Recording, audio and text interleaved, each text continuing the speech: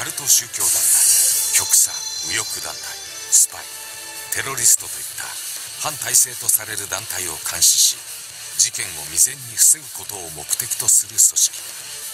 だが彼らの活動は表舞台に出ることはない。秘密のベールに包まれた存在だ。表舞台に出ることのない公安捜査。その知られざる実態と掟とは？はようございます。ああ。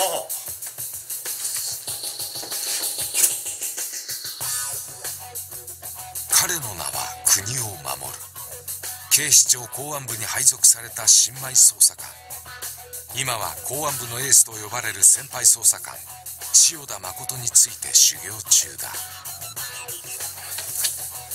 それ今当たってる反政府組織の捜査資料目通しといて。はいあ出るな。え？いるぞ！え？どういうことですか？その電話はな決して出ちゃいけない電話なんだよ。公安には出てはいけない電話がある。何？それはチームごとに設置されている。潜入捜査官専用の電話。コール1回は危険な状態コール2回は応援要請と決められている。よし。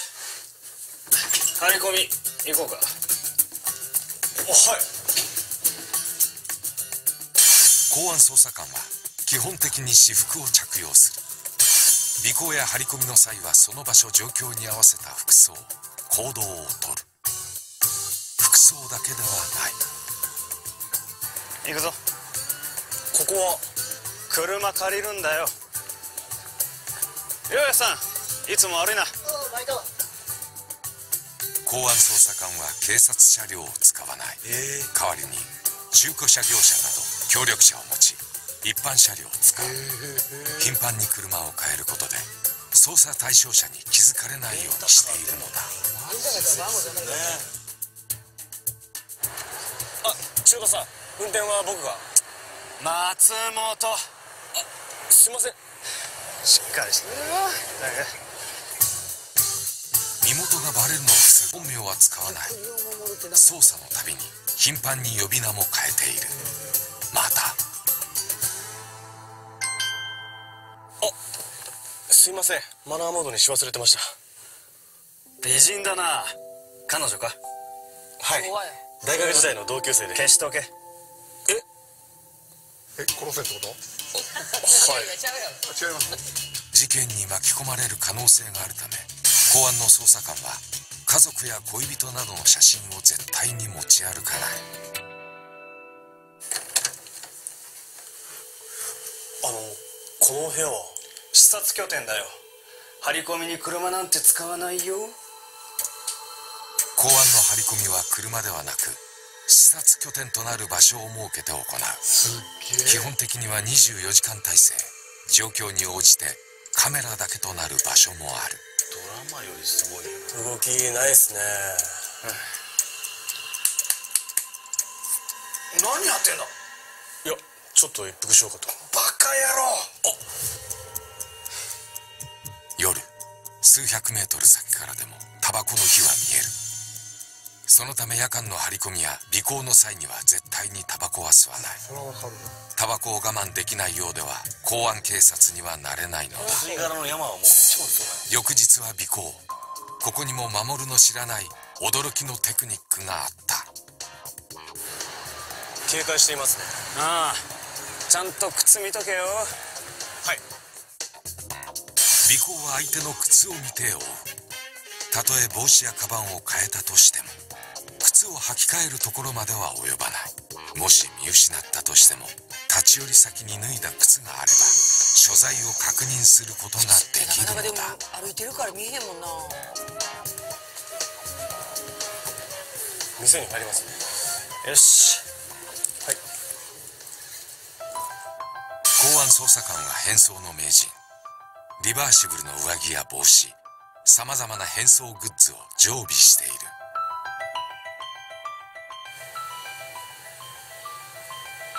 初めて見る顔だな。撮れたか？はい。バッチリです。写真の男は薬師渡る。こいつは今メッキ加工会社で働いている。同じ会社に S になりうる人物がいるかを調べるぞ。はい。S スパイですね。薬師渡の会社の資料です、公安捜査の真骨頂ともいえるのがスパイ作り捜査対象に近い人物をスパイに仕立て上げより精度の高い情報を引き出すのだ。スパイに仕立て上げる。はい。この男を協力者にする準備を始めろ。そんなんできる諏訪井京32歳。バツイチ独身。母親と2人暮らし。別れた妻との間に7歳になる娘が1人。母親を養いながら娘の養育費を払っているため勤務態度は真面目学生時代はボランティア活動に打ち込み正義感も強い。協力者候補については身元職歴犯罪歴はもちろん性格趣味家庭環境交友関係までありとあらゆる調査がなされる。そこから協力者としてふさわしいかが判断される。前科もないし女の影もない週末居酒屋に行って一杯引っ掛けて帰ることだけが唯一の楽しみらしい。協力者との接触方法は千差万別。その時々の状況に合わせて行われる。例えば。ああすいません。ごめんなさい。あの本当に大丈夫ですか？大丈夫です大丈夫です。いえあの本当にすみません。今日はおごらせてください。当然初めから捜査官とは名乗らず何度か接触を繰り返し信頼関係を構築していく。そしてめっちゃ長く出てるあ。え？諏訪井さんこれお嬢さんに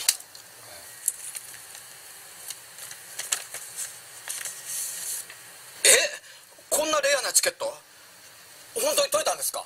はい。娘が喜びますよ。あお題。ああいいんですいいんです。これは僕からお嬢さんへの誕生日プレゼントです。いつもすみません。時にはプレゼントや金銭を渡し頼み事を拒否できない深みに誘い込む。そうして関係を深めてから捜査官であることを打ち明け協力を要請するのだその時大抵の協力者はこう反応するという。え？そんな気がしてましたよ。僕でよければ協力しますよ。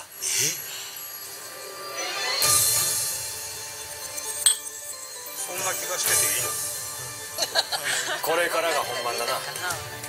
奴を育てろ。育てるですか？いつまでも下っ端でいられちゃ重要な情報が入ってこないだろ。なるほど。協力者を育てるその方法は？諏訪井さんこれ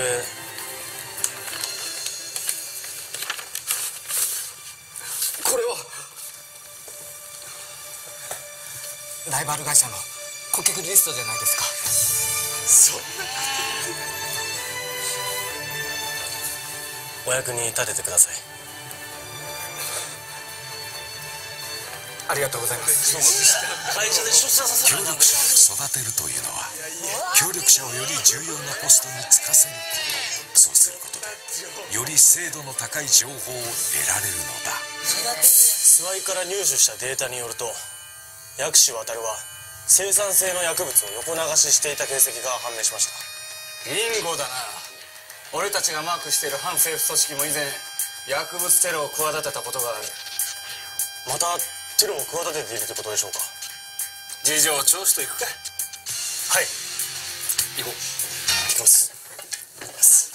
公安には重要参考人を絶対に逃さない。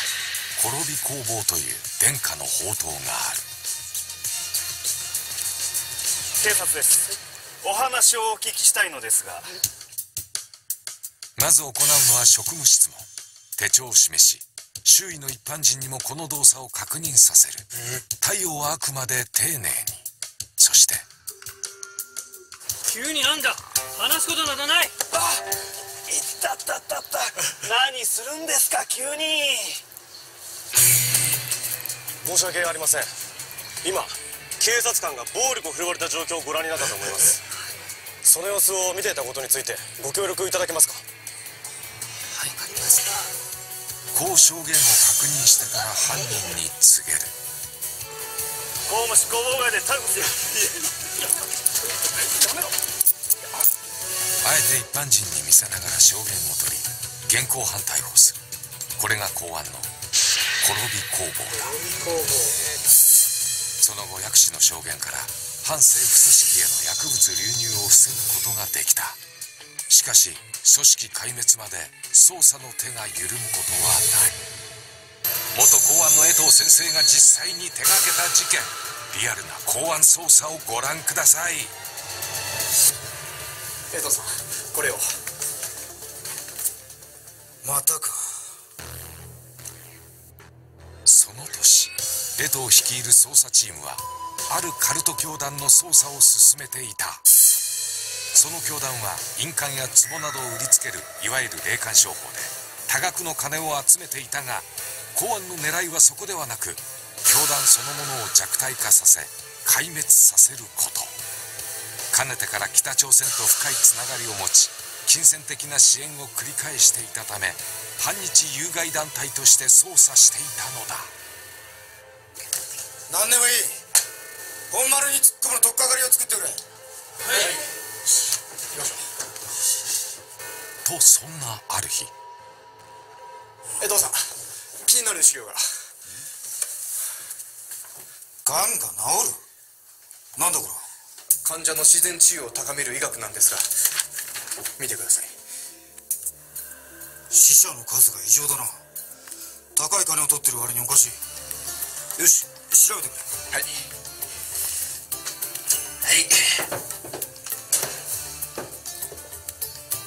調査の結果この病院を経営しているのは例のカルト教団だと発覚がんが治るという宣伝で高い金を取りながら多くの死者を出していた病院経営して内偵捜査が始まったよし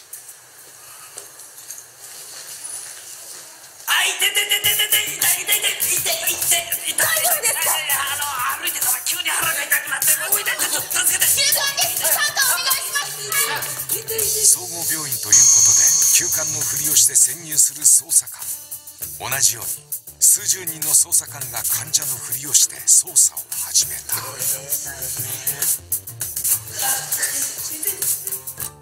少々お待ちください。はい。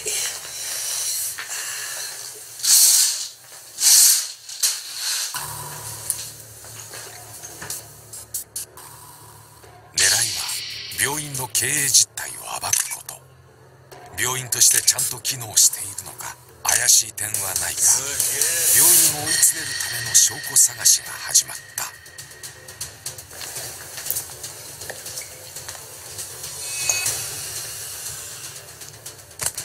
入院患者かよし当たれ。はい。よし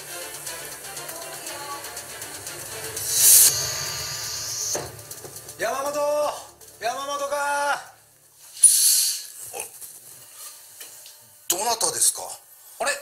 山本剛さんですか？はいそうですけど。ああ 同姓同名なんで間違えちゃいましたよ。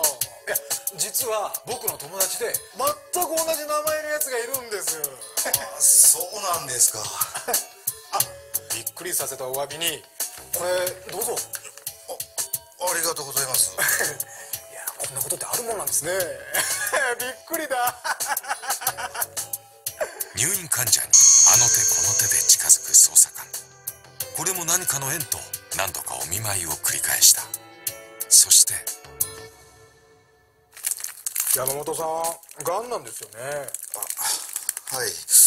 あでも治療も進んでるみたいなので一安心ですちなみにどんな治療？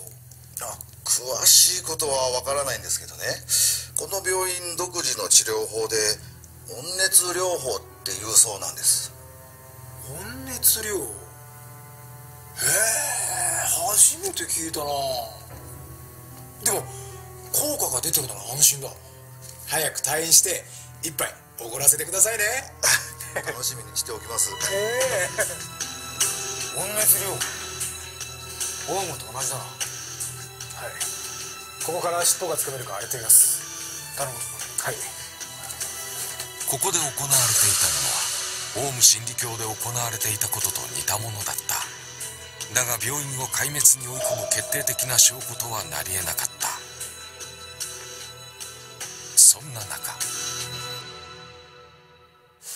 お忙しいとこすみません、少しお話伺ってもよろしいですか？江藤たちが目をつけたのは病院に出入りするゴミ処理業者。廃棄物がこの量に対して売り上げがこれ。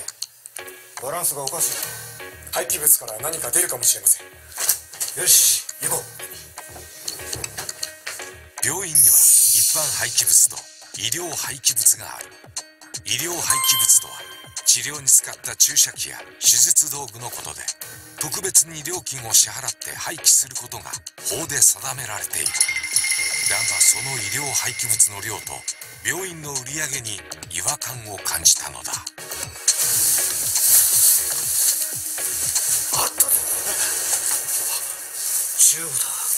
やりましたね。これでいける。よし。早速ガチャの準備だ見つけたのは血のついたチューブ医療廃棄物であるチューブが一般廃棄物として捨てられていたのは明らかな廃棄物処理法違反。ようやく見つけた取っかかりだった。行くぞ。はいはい。何ですかまた課長廃棄物処理法違反での捜索令状が出ている。関与し調べろ。はいはい。その後さまざまな悪事が明らかになった病院は廃業。に江藤たちの徹底した捜査によって教団の大きな資金源が壊滅したのだ。